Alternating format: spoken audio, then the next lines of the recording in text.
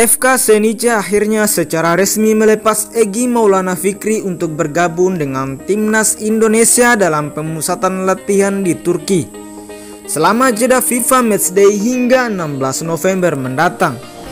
Namun selesai melawan Afghanistan, Egi Maulana Fikri akan kembali gabung dengan timnya.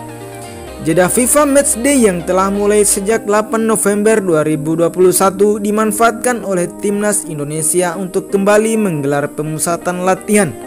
Seperti diketahui, timnas Indonesia akan menghadapi ajang bergengsi yakni Piala AFF 2020 pada Desember mendatang. Guna mempersiapkan hal tersebut, pelatih timnas Indonesia Sintayong telah memanggil 26 pemain untuk mengikuti pemusatan latihan di Turki.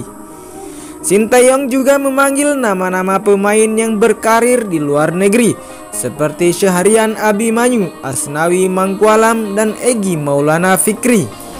Egi Maulana Fikri sendiri sudah resmi dilepas oleh klubnya FK Senica.